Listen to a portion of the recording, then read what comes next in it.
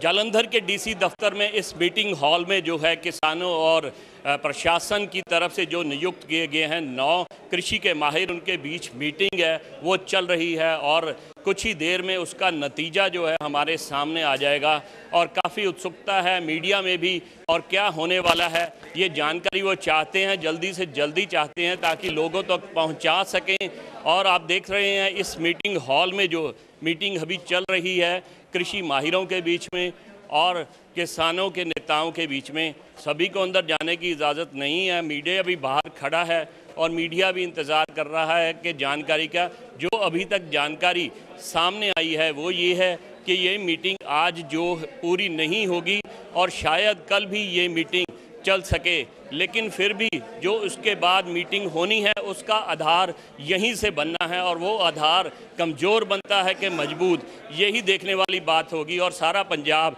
इस मीटिंग की महत्वपूर्ण मीटिंग है। इसकी जो